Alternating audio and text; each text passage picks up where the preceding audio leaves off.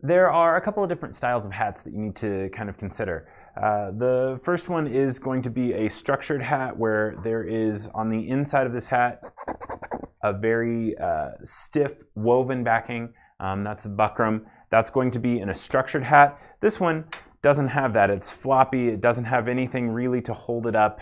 Um, so this is an unstructured. And the reason you want to consider which style of hat, um, it may impact how much or what kind of backing you use on those hats. Um, other things to consider, the profile of the hat. This one's a little bit higher profile. It's still a relatively low profile, but it's higher than, say, this unstructured that kind of comes right back over the hat or over the head very quickly. Um, this one at least comes up a little bit before it heads over. Um, the, the profile, how high this comes up, um, will impact how large of a design that you can sew on it. So all those things you'll need to consider um, when, when selecting your hat or when dealing with this is the style of hat that my customer chose. Now I need to make sure that my design actually fits on that or the other way around. This is the design that my customer needs. Let's make sure they get a hat that will actually fit it. Um, all right, so when dealing with hats, to start off with, um, I need to prep them for hooping. And what I'll do is I will open them up. I will straighten out the bill as much as I can. Doesn't have to be perfectly straight, but a little bit straighter um, does tend to help. And then I'm going to pull out the sweatband as much as I can. Now there are times that I will run across uh, caps that have the sweatband actually stitched in on the side with just a couple of little stitches there. Um, I've been known to trim those out um, just so that I can get the sweatband uh, a little bit farther out. The other thing, cardboard, just to support it, make sure that you're not sewing through that. All right, once I have all of that out of there and my sweatband open, um, some people unstrap or, or unbuckle the strap in the back. Um, I tend to leave it. It's completely up to you. And now I'm going to take these clips off of my cap frame. They're just little kind of bent binder clips. Um, they attach to these posts. Now they are great for when you're sewing on the sides of a cap. You can secure the side of the hat to this post and kind of smooth that area out and give it a little bit more stability. Um, I also use it to hold my backing. So I'm going to set those aside. And I'm going to slide this onto my gauge.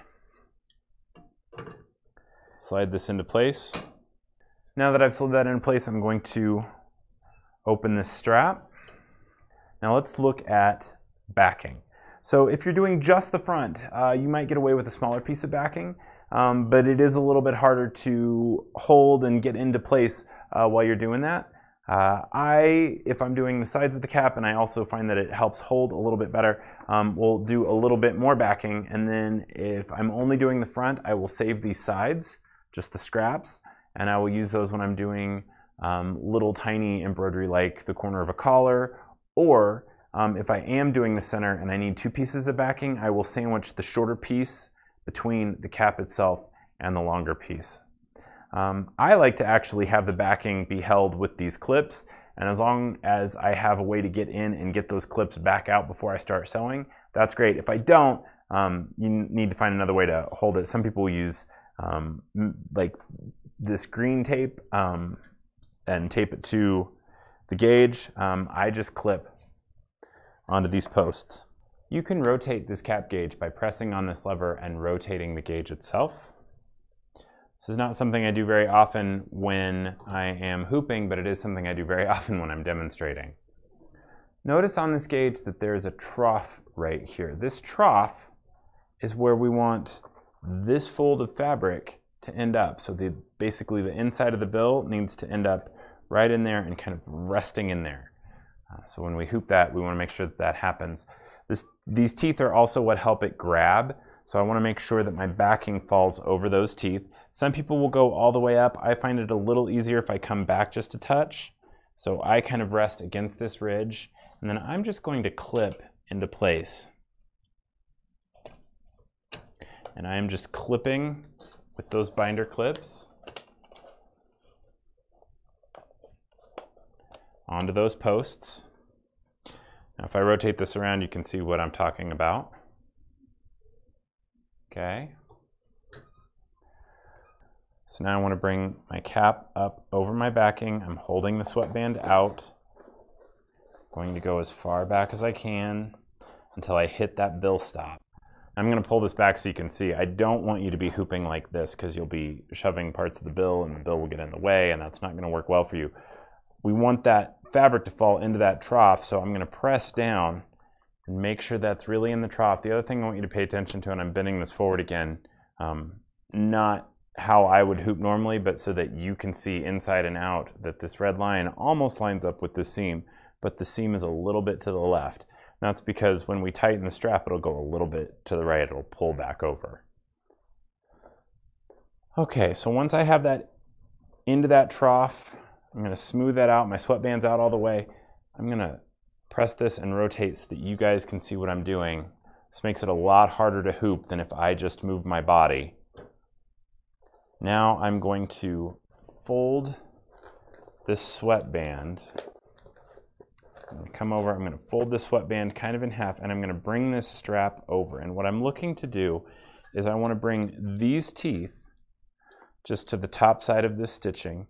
And then when the teeth switch back over to that side, I want them to fall right into that seam, or at least line up to do that. So I have to fold my, my sweatband in half a little bit so that I can get around this hinged piece.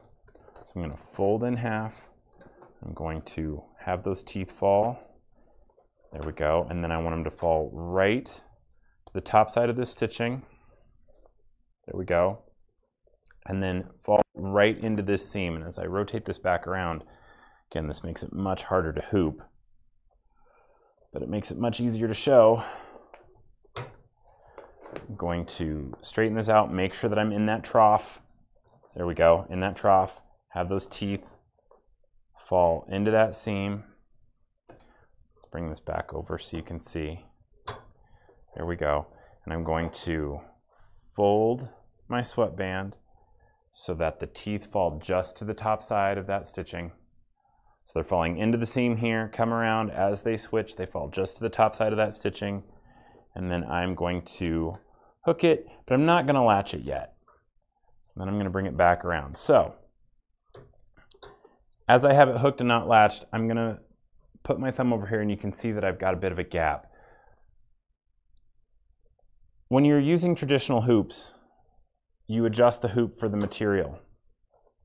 We need to do similar thing with the cap. So I'm going to loosen these wing nuts I'm going to make sure that my cap is still in place and I'm going to slide that extra back out of the way.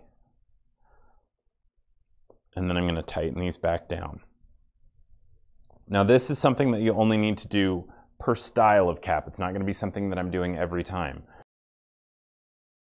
So now I need to latch it. Some people find it's easier to pull on the back of the cap as they latch this. All right, now I'm going to go inside this cap and remove these clips. So now I want to make sure that I stabilize the sides. I'm going to do that with these clips.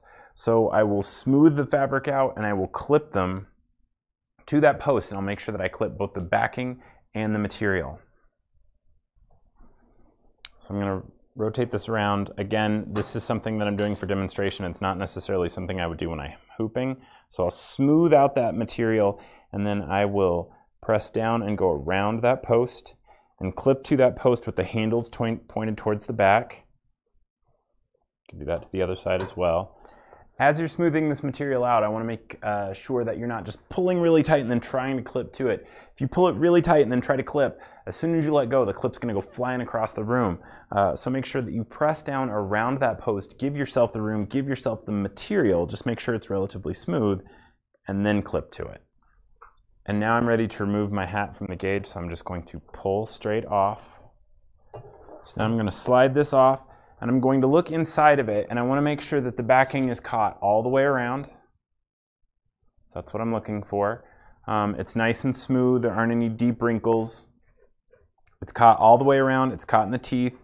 The other thing that I'll do is make sure that the hat's really on there and it's not going to fall off. Um, all right, so now that I have this hooped up, I'm ready to put it on my machine.